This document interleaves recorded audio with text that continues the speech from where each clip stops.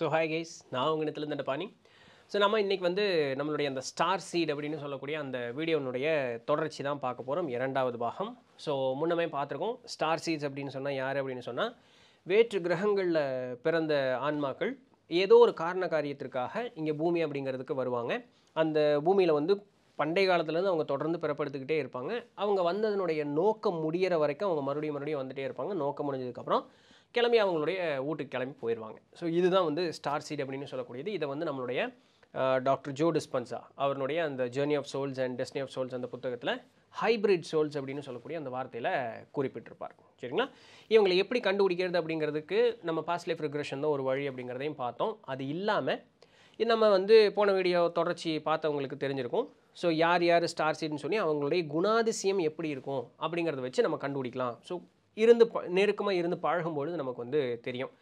இது ஒன்று இந்த வீடியோ பார்க்கக்கூடியவங்க எல்லாருமே இந்த ஸ்டார் சீடாக இருக்கணும்னு அவசியம் இல்லை. சரிங்களா? ஏன்னா பூமியிலேயே பிறந்து வளர்ந்தவர்களாகவும் இருக்கலாம். அவங்க ஸ்டார் சீடாக இருக்க மாட்டாங்க.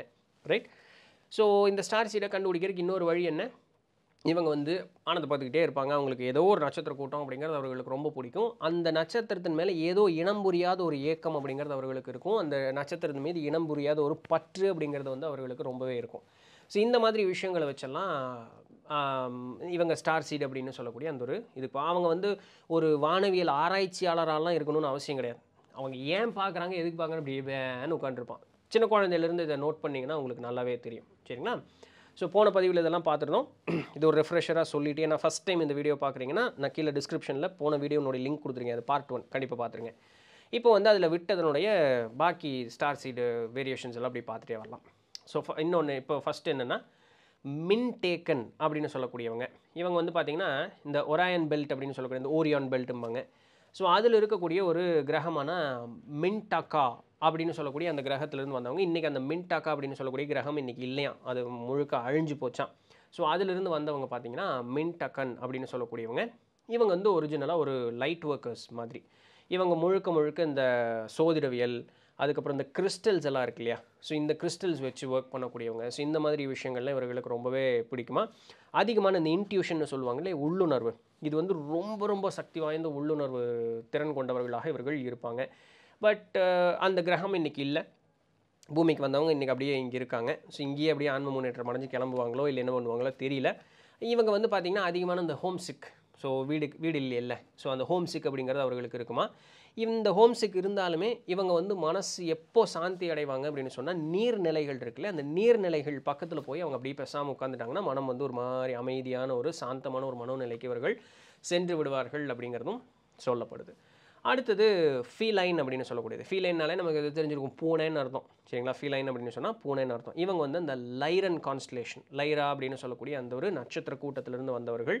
இவங்க முழுக்க முழுக்க இந்த எகிப்துலலாம் அந்த பூனையினுடைய வடிவத்தில் வச்சு அந்த சாமியை கும்பிட்டுருப்பாங்க பார்த்தீங்களா ஸோ அந்த மாதிரி ஒரு இனத்தை சேர்ந்தவர்கள் இங்கே பூமிக்கு வந்தாங்களாம். ஸோ இவங்க வந்து பண்டைய காலத்திலிருந்து இங்கே பூமியில் இருக்கிறதாகவும் சொல்லப்படுது. இவங்க வந்து இந்த பூமியும் ஸ்பிரிச்சுவல் ரெல்ம்னு சொல்கிறாங்களே ஸோ இது வந்து ஃபிசிக்கல் ரெல்மு இங்கே ஸ்பிரிச்சுவல் ரெல்ம் இது ரெண்டுக்கும் கனெக்ட் பண்ணுறது எப்படி அப்படிங்கிறது வந்து இவங்க ரொம்ப ஹெல்ப் பண்ணுவாங்க. அதனால தான் இஜிப்ஷியன்ஸ் பூனை ரொம்ப இது பண்ணுவாங்க. அவங்க இந்த பூனை வந்து என்ன சொல்லுவாங்கன்னா இது கிறிஸ்டியானிட்டிலையும் இருக்குது இந்த பூலோகத்தையும் தேவலோகத்தையும் கனெக்ட் பண்ணுறதுக்கு வந்து இந்த பூனை வந்து ரொம்ப ஹெல்ப் பண்ணும் அப்படின்னு சொல்லுவாங்க. மத நம்பிக்கைகள் இது இருக்குது ஸோ இந்த வேலை செய்கிறது அப்படிங்கிறது இவங்க தான் செய்வாங்க. இவங்களுக்கு வந்து இந்த டெலிபதி அதுக்கப்புறம் இந்த சைக்கிக் எபிலிட்டிஸ் அப்படிங்கிறதெல்லாம் இயற்கையாகவே இவர்களுக்கு இருக்குமா. ஸோ மனிதனுக்கு அப்பாற்பட்டு இருக்கக்கூடிய ஹையர் டிமென்ஷன்ஸ் எல்லாமே இவங்களுக்கு ரொம்ப எளிமையில் தெரியும் ஈஸியாக ஆக்சஸும் இவங்களால் பண்ண முடியும் அப்படிங்கிற மாதிரியும் சொல்லப்படுது. அடுத்தது மால்டெக் அப்படின்னு சொல்லக்கூடியவங்க. இவங்க வந்து இந்த லெமூரியா அண்ட் அட்லாண்டிஸ் அந்த ரெண்டு இனம் இருந்தது பார்த்திங்களா அந்த மாதிரி இருக்கக்கூடியவங்க தான் இந்த மால்டெக் அப்படின்னு சொல்லக்கூடியவங்க. வேறு ஏதோ ஒரு நட்சத்திர கூட்டத்திலிருந்து இங்கே பூமிக்கு ஒரு எப்படி சொல்கிறது ரெஃப்யூஜி அப்படின்னு சொன்னால் என்ன சொல்லுவாங்க? அகதிகள் போல் இங்கே பூமிக்கு வந்தவங்களாம். வேற ஒரு சோலார் சிஸ்டம் அந்த சோலார் சிஸ்டமில் அவங்களுடைய கிரகம் வந்து அழிஞ்சு போச்சான் ஓ வேற ஒரு சோலார் சிஸ்டம் இல்லை நம்ம சோலார் சிஸ்டம்லேயே தான் வந்து இந்த மால்டெக் அப்படின்னு சொல்லக்கூடிய கிரகம் இருந்திருக்கு. ஸோ அது அழிஞ்சு போச்சு. அங்கேருந்து இவங்க பூமிக்கு வந்து அகதிகளாக வந்திருக்காங்க. எப்படி அழிஞ்சுதுன்னு கேட்டால் இவங்கக்கிட்ட இருந்த அந்த டெக்னாலஜிக்கல் பவர் அதை வந்து பேராசை கொண்டு அந்த டெக்னாலஜிக்கல் பவர் ஓவராக யூஸ் பண்ணால் அது அந்த கிரகத்தையே அழிச்சிருச்சு. சூப்பர்மேன் படம் மாதிரின்னு வச்சுக்கோங்களேன். ஸோ அதனால அந்த கிரகம் அழிஞ்ச காரணத்தினால இங்கே பூமிக்கு வந்திருக்காங்க. இங்கே பூமியில் இவர்களுடைய வேலை என்ன அப்படின்னு சொன்னால் இந்த ரோபோட் அப்ரைசல் இன்னைக்கு படத்துலலாம் வர மாதிரி தான் இந்த ரோபோட் வந்து எப்படி மனுஷனா அந்த டெர்மினேட்டர் படத்துலலாம் வரும்ல அந்த மாதிரியெல்லாம் நடக்காமல் கரெக்டாக டெக்னாலஜியை சரியாக மனிதனுடைய தேவைக்காக மட்டும் பயன்படுத்தி மனிதனையே அந்த டெக்னாலஜி கண்ட்ரோல் பண்ணாத அளவுக்கு இவங்க வந்து முடிஞ்ச அளவுக்கு கண்ட்ரோல்டாக கொண்டு போகிறது அப்படிங்கிறது இவங்கள ஒரு கடமையாக எடுத்துகிட்டு பூமிக்கு. பிகாஸ் அந்த காரணத்தினால தான் அவங்க பிளானட் அழிஞ்சு போச்சான் ஸோ அதனால இவங்க இங்கே வந்ததாகவும் சொல்லப்படுது. அடுத்தது ஏவியன் அப்படின்னு சொல்லக்கூடியவங்க. இவங்க வந்து பார்த்தீங்கன்னா முழுக்க முழுக்க இந்த ஸ்பிரிச்சுவல் ரெல்ம்னு சொல்கிறாங்களே இப்போ நம்மளுடைய ஸ்பிரிட் கைடெல்லாம் இருக்காங்கன்னு சொல்கிறாங்களே ஸோ அந்த இடத்தை சேர்ந்தவர்களாக சொல்லப்படுது. ஸோ அந்த நேமே சொன்ன மாதிரி இவங்க வந்து ஒரு அட்வான்ஸ்டு சிவிலைசேஷன் சொல்கிறதுக்கு ஒன்றும் இல்லை. இவங்க வந்து பிறப்பெல்லாம் எடுக்க மாட்டாங்க. இவங்க வந்து மேலிருந்து இங்கே பூமியில் இருக்கக்கூடிய மனிதர்களை வந்து ஆன்ம முன்னேற்றத்தை அடைவதற்குண்டான ஒரு ஹெல்ப் பண்ணக்கூடிய ஆட்களாகவும் இருப்பாங்க. இவங்களுக்கு வந்து ஒரு என்ன சொல்கிறது பறவை போல இருக்கக்கூடிய அந்த குணாதிசயம் இருக்கணும். மேபி அதனால தான் நம்மளுடைய மூதாதையர்கள் காகம் வடிவத்தில் வருவாங்கன்னு சொன்னாங்களோ என்னவோ. தெரியல. ஸோ இந்த மாதிரி ஒரு குணத்தை கொண்டவர்கள் இந்த ஏவியன் அப்படின்னு சொல்லக்கூடியவங்க. அடுத்தது மார்ஷன் ஸோ பேர்லேயே இருக்குது மார்ஸ் சேர்ந்தவங்க. இன்றைக்கும் பார்த்தீங்கன்னா வானவியல் ஆராய்ச்சியாளர்களுக்கும் கொஞ்சம் கூட இந்த நுணுக்கம் தெரிஞ்சவர்களுக்கும் செவ்வாய் கிரகத்து மேலே ஒரு தனிப்பட்ட ஒரு ஈடுபாடு உண்டு. நம்மளை சொல்ல போனால் முருகர். சரிங்களா? ஸோ நமக்கு வந்து அந்த செவ்வாய் கிரகத்து மேலே ஒரு தனிப்பட்ட ஈடுபாடு உண்டு. முந்தைய காலங்களில் செவ்வாய் கிரகத்தில் மனிதன் வாழ்ந்திருக்கலாம்.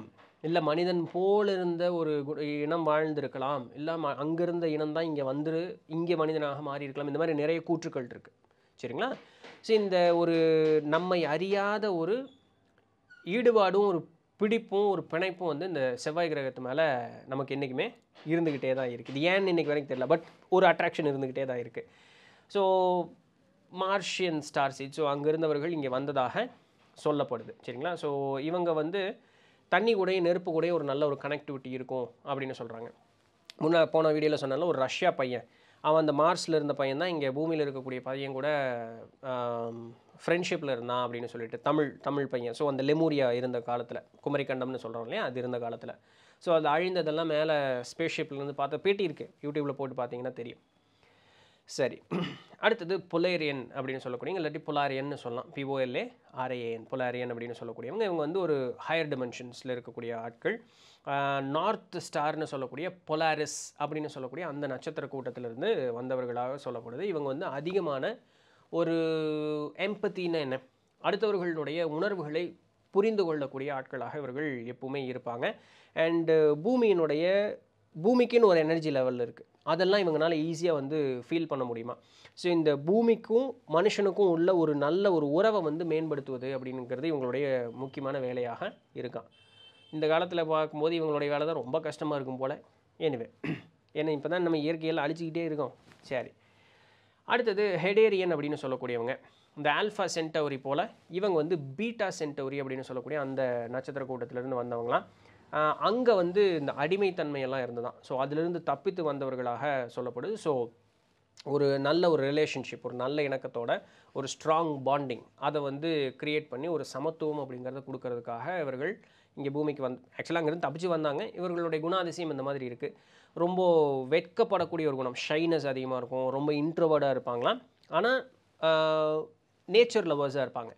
என்ன ஒரே பிரச்சனை அப்படின்னு சொன்னால் இவங்களை ஈஸியாக ஏமாத்திடலாம் மேனிப்புலேட் பண்ணுறது அப்படிங்கிறது ரொம்ப ஈஸி ஆனால் இவங்களுடைய அந்த கடந்த கால அந்த துன்பம் அப்படிங்கிறது அவர்களுடைய மனதில் இருக்கக்கூடிய காரணத்தினால இவங்களை என்ன தான் ஏமாத்தினாலுமே இவங்ககிட்டருந்து நமக்கு என்றைக்குமே அந்த ஒரு அன்பு அப்படிங்கிறது தான் வந்து என்றைக்குமே கிடச்சிக்கிட்டே இருக்கும் அப்படிங்கிறது ஒரு இதாக சொல்கிறது ஹெடேரியன் அப்படின்னு சொல்லக்கூடியவங்க. அடுத்தது ரெப்டீலியன் இது ரொம்ப பிரபலமாக கேள்விப்பட்டிருப்போம். ரெப்டீலியன் அப்படின்னு சொல்லிட்டு இந்த பள்ளி இனத்தை போல் இன்றைக்கி பூமிக்கடியில் இந்த ரெப்டீலியன்ஸ் எல்லாம் இருக்கிறதா விளக்காரங்க நிறைய சொல்லிகிட்டே இருக்காங்க. இந்த ரெப்டீலியன்ஸ் பள்ளி இனத்தை சேர்ந்தவர்களாக சொல்லப்படுது. இவங்க வந்து உருமாறக்கூடிய அந்த ஒரு திறன் இவர்களுக்கு வந்து இருக்குமா? இவங்க வந்து இவ்வளோ தூரம் வந்து மனித இனத்தை காப்பதற்காக பூமிக்கு வந்ததாக பார்த்துட்டு இருந்தோம். இவங்க அப்படி ரைட் ஆப்போசிட் இவங்க தான் வந்து இந்த முழுக்க முழுக்க இந்த லெமூரியா அதுக்கப்புறம் இந்த மாதிரி இருக்கக்கூடிய பிற கிரகங்கள் அழிவதற்கெல்லாமே காரணமாக இவர்கள் தான் வந்து இருந்தாங்க. ஏன்னா சுயநலம் தன் தேவைக்காக என்ன வேணாலும் பண்ணலாம் அப்படின்னு சொல்லக்கூடிய அந்த ஒரு குணம் வந்து இவர்களுக்கு இருந்துதான் மனிதனுக்கு இயற்கையாகவே அந்த ஒரு ஆசை அப்படின்னு ஒன்று இருக்கும்ல. அந்த ஆசையை தூண்டு வச்சு அதன் மூலமாக இவங்க தங்களுடைய சுயநலத்தை வந்து பூர்த்தி பண்ணிக்கிட்டாங்க. இங்கே பார்த்தா ஒரு இடமே அழிஞ்சு போச்சு. பட் அதை பற்றியெல்லாம் அவங்க கவலைப்படுற ஆட்கள் அப்படிங்கிறவங்க வந்து கிடையாது. ஸோ இந்த மாதிரி ஒரு ஸ்டார் சீடில் இருக்கக்கூடியவங்க. இந்த ரெப்டீலியன் அப்படின்னு சொல்லக்கூடியவங்க. ஸோ ஸ்டார் சீட்னு சொன்னால் என்ன? அவர்கள் இன்னும் இங்கே இருக்காங்கன்னு தான் அர்த்தம். நல்லா புரிஞ்சுங்க அடுத்தது ட்ரக்கோனியன் அப்படின்னு சொல்லக்கூடியவங்க. இவங்க வந்து ட்ராக்கோ அப்படின்னு சொல்லக்கூடிய ஒரு கான்ஸ்டலேஷன் நட்சத்திர கூட்டத்திலேருந்து வந்தவங்க. இவங்க வந்து பார்க்கும்பொழுது ஒரே காமன் கோல் இவங்க நல்லவங்களா கெட்டவங்களானா நம்மளால சொல்ல முடியாது. பிகாஸ் அந்த ரெப்டீலியன்ஸ் போலவே தான் இவங்களும். நல்லவங்க கெட்டவங்கன்னு ஒன்றும் சொல்ல முடியாது. இவங்க வந்து ஒரு சில நேரங்களில் பேராசை பிடிச்சவங்களாகவும் பிறரை வந்து தன்வயப்படுத்தக்கூடிய தலைவர்களாகலாம் வந்து பேராசை பிடிச்ச தலைவர். இல்லை இவங்களுடைய பேச்சுக்கு வந்து அடுத்தவங்களை மயங்க வச்சு தன்னுடைய சுயநலத்தை வந்து நிலைநிறுத்திக்கக்கூடிய தலைவர்களாக எல்லாத்தையும் சொல்கிற மாதிரி தான் இருக்குது. ஸோ அந்த மாதிரி தலைவர்களாக இன்றைக்கி இன்றைக்கின்னு இல்லைங்க. ஃப்ளோவில் வந்துருச்சு. அந்த மாதிரி தலைவர்களாக இவர்கள்லாம் வந்து இன்றைக்கி வந்து மனித சமுதாயத்தில் வந்து இருக்கக்கூடியவர்களாக சொல்கிறாங்க அதே நேரத்தில் நல்ல ட்ரக்கோனியன்ஸும் இருக்கிறதா அவங்க வந்து முழுக்க முழுக்க ஆன்ம முன்னேற்றம் அடைவதற்காக உதவி செய்யக்கூடியவர்களாக. ஸோ இது யார் எப்படின்னு நம்மளால் ஐடென்டிஃபை பண்ண முடியாது. ரொம்ப கஷ்டம் இந்த ட்ரக்கோனியன்ஸ் கீழே அப்படிங்கிறாங்க. அடுத்தது அகார்த்தியன் பீயிங்ஸ் அப்படிங்கிறாங்க. இந்த அகார்த்தியன்ஸ் யார் அப்படின்னு சொன்னால் இந்த ஃபேரீஸ்ன்னு சொல்லுவாங்களே எஃப்ஏஐஆர்இஎஸ் தானே. யா ஃபேரீஸ் இந்த குட்டியாக இருக்கும் ரக்க வச்சுட்டு இருக்கும்ல ஃபேரீஸ் ஸோ இவங்க வந்து இந்த பூமிக்கு உள்ளேயே வேறு ஒரு பரிமாணத்தில் வாழ்ந்துட்டு இருக்கக்கூடிய ஆட்கள். ஸோ அதனால் அந்த பூமிக்கும் மனிதனுக்கும் வந்து ரொம்ப அதிகமான ஒரு ஒட்டுறவு இருக்கக்கூடிய ஆட்களாக இவங்க இருக்காங்க. ஸோ என்ன சொல்கிறது இவங்க வந்து இந்த சுற்றுச்சூழலை வந்து ரொம்ப பாதுகாக்கக்கூடிய ஆட்கள். இந்த அட்லாண்டிஸ் நகரமெல்லாம் அழிஞ்சப்பெல்லாம் இவங்கெல்லாம் இருந்திருக்காங்களாம். ஸோ அது போல் மறு மறுபடியும் இந்த இடத்துல இந்த மாதிரி நடந்துடக்கூடாது அப்படிங்கிறதுக்காக ரொம்ப அக்கறையாக பூமி வந்து பாதுகாக்கக்கூடிய அந்த ஒரு திறன் வாய்ந்தவர்களாகவும் இருக்காங்க. ஸோ ஃபேரிஸ் அப்படின்னு சொல்லக்கூடியவங்க. ஸோ இவங்கெல்லாம் தாங்க ஸ்டார் சீட்ஸ் எனக்கு தெரிஞ்ச இடத்தால ஒரு இருபத்தி மூணு சொல்லியிருப்பேன்னு நினைக்கிறேன். போன வீடியோவும் இந்த வீடியோவும் சேர்ந்து. ஸோ இவங்கெல்லாம் தான் அந்த ஸ்டார் சீட்ஸ் அப்படின்னு சொல்லக்கூடியவங்க.